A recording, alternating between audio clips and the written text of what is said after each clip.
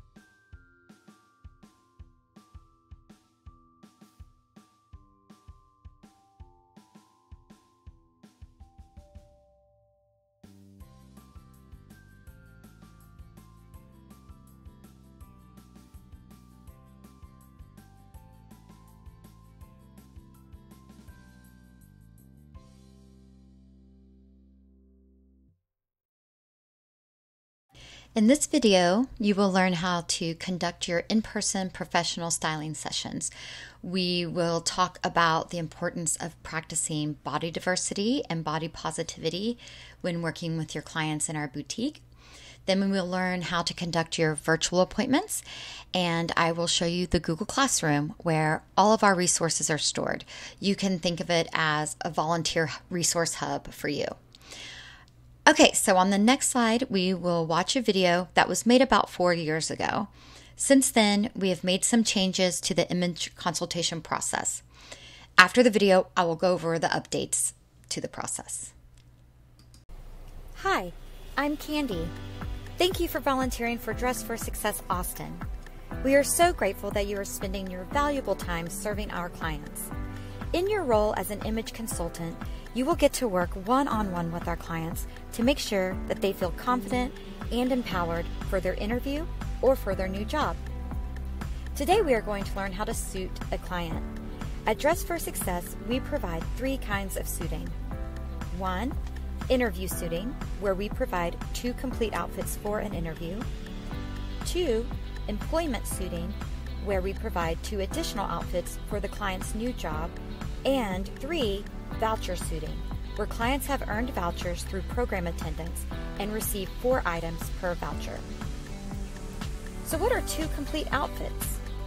An interview suiting could include any pieces to make two complete outfits, such as a suit with a top, a dress with a cardigan if needed, a pair of shoes, a handbag, and accessories. For an employment suiting, we ask the client what she needs for her specific job or what the dress code is. Maybe she wants two dresses or needs two pair of pants that she can pair with tops, a pair of shoes, a handbag, and accessories. Voucher suitings allow the client to receive four items. You will need to consult with her to find out what she wants or needs. Dress for Success is not a closed closet. Our clients don't shop the racks in the boutique. As an image consultant, you will provide a one on one personal styling session for your client. You will put outfits together for her while she is in the fitting room. We don't have mirrors in our fitting rooms so that you can see how the clothes fit on your client and you can make adjustments according to what makes her feel the most empowered. Now, let's head to the boutique and meet your client. First, warmly greet your client. Introduce yourself. Ask them, How are you doing today? Walk your client to the back of the boutique where there are chairs. Have the client take a seat and using the information she listed in her client folder, review clothing, shoe sizes, and personal preferences together. Ask the client questions that help you understand the kinds of clothes she will need, like Do you have an interview? What type of job are you looking for? Are there any colors or prints you would like to avoid? Do you prefer pants or skirts? For shoes, do you prefer flats or can you wear a heel? Ask the client what size shoes she wears and then pull a temporary pair of shoes for her to wear while trying on clothes. Outfits look best when put together with the right pair of shoes. Next, grab two bras for her bra fitting. Her bra size will be in her folder, or you can reference the size that she is wearing to gauge what size to pull. Have the client try on the bras, and if she is comfortable with you entering the dressing room, examine the fit. The client can have one bra. Pull one complete outfit for the client and have her try it on. While she's trying on her first outfit, work to find a second complete outfit. Then, you review the first outfit, make any necessary adjustments, and repeat with the second outfit. Review the second outfit, make any changes. Make sure you add accessories, shoes, and one handbag. Also, take her to the beauty counter and offer her one of any type of cosmetics or toiletries that she may need. Then, personally take her back to the front desk to either begin her career center appointment or to schedule additional appointments. Give your client a warm goodbye. And finally, update any change to her sizes in the client folder and indicate the quantity and type of clothing she received in the spaces provided. We know you will enjoy serving our clients as an image consultant. Seeing a client's transformation in only one hour is very rewarding. Thank you for your time. The video you just watched describes the client and the volunteer completing paper documents and returning them to a client folder after the appointment. However, now clients complete a clothing request form online that includes their sizes and preferences. You can see it here on the left. And when the client arrives, the front desk volunteer prints it and then gives it to you, the volunteer. After the appointment, you will complete an online form that you can see here on the right. There are iPads at the front desk for you to complete the form. Once you've submitted it, please then shred the client's paper clothing request since it often contains sensitive information. Between the online form that the client completes and the post appointment survey that you complete, we have all the data we need to collect. At Dress for Success Austin, we are inclusive and body positive. Being body positive and body diverse means that we promote the acceptance and appreciation of all body types, regardless of their shape, size, or appearance. We aim to promote self love and confidence in individuals of all backgrounds and identities. So, when our clients come to the boutique, we want to provide a positive and inclusive environment for them.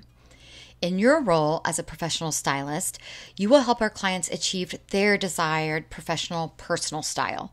Your goal is to make them look and feel their best and give them confidence, making them feel empowered in their professional clothing.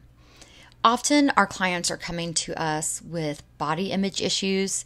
Maybe they've never worn professional clothing before, and certainly some of them have not had a professional styling session. So we like to remember that dignity, respect, and collaboration are the cornerstones of how we interact with our clients. The following are some don'ts when you are in your professional styling session with your client. You'll want to discourage her from talking badly about her body. You can redirect her by making positive comments. Personally, I just say we don't allow any negative self talk in our boutique. As a stylist, never ever comment on your client's clothing size or body shape. Also, never ever offer advice on weight loss or weight gain.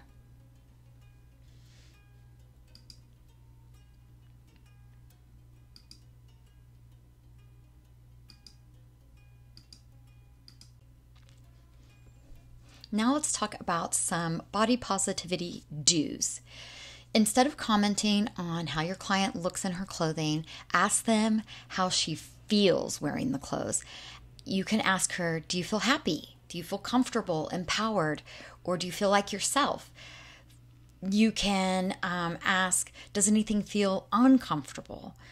Um, you can say something like that color complements your eyes or point out a specific detail that that you like about the outfit you can say something like you look put together or you look polished. Sometimes i'll say wow you look like you're in charge or you look like you're going to get the job. Just stay really positive when you're talking with your client just to avoid her feeling negative about her body herself or the interaction. Now let's talk about virtual professional styling or image consulting. We began virtual appointments during the pandemic. Then, virtual volunteers assisted clients with completing a form to receive a clothing package that they would come and pick up. Now that we are back in person, we are no longer offering clothing packages, but we still are offering an option to meet virtually with an image consultant or professional stylist. Now that we are back in person, we are no longer offering clothing packages for clients to come pick up. So sometimes when a client books a virtual appointment, she really just needs help booking an in person appointment to receive professional clothing. During a virtual image consultation, you may be assisting with other things too. So you may be assisting her with booking an in person appointment. Uh, you can share your screen and go to our website, book an appointment for her, and help her complete a clothing form. Since the form asks for sensitive personal information, you may want to offer to email the appointment form to, or the appointment link to her to fill out on her own. She may also want to book a career appointment as well, so you can do that from this webpage.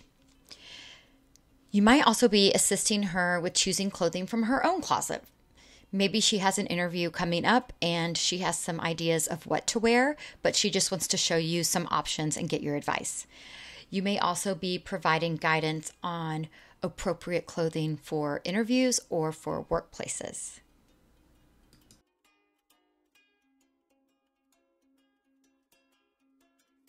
In the orientation video, we discussed how to sign up for your shifts and how to submit your availability for virtual volunteering. So, how will you know if a client books an appointment with you? First, you will receive an email saying a client has booked an appointment with you. This email looks the same for both image and career coaching appointments. The email will have detailed instructions for you and your client. You will then contact the client to confirm the appointment with her. It is very important that you let me know if your availability changes and you are unable to attend an appointment that a client has booked with you. These appointments are time sensitive for our clients. They may have an interview that day or the next day that they need support with. Sometimes volunteers no show for their virtual appointments, and that makes it really difficult for us to maintain the client's trust. So please reach out to me if you have an appointment booked that you can't attend or if your availability changes. We will find someone else to help the client. After you meet with your client, you will need to complete the post appointment survey. This survey is included in the Google Classroom that we will discuss next. Now, let's talk about the Google Classroom. Google Classroom is an app in G Suite. and It's a file sharing platform that's used by teachers and students. We use it to organize all the resources you need to conduct your virtual image and career consultations. You can think of it as a one stop hub for all volunteering materials.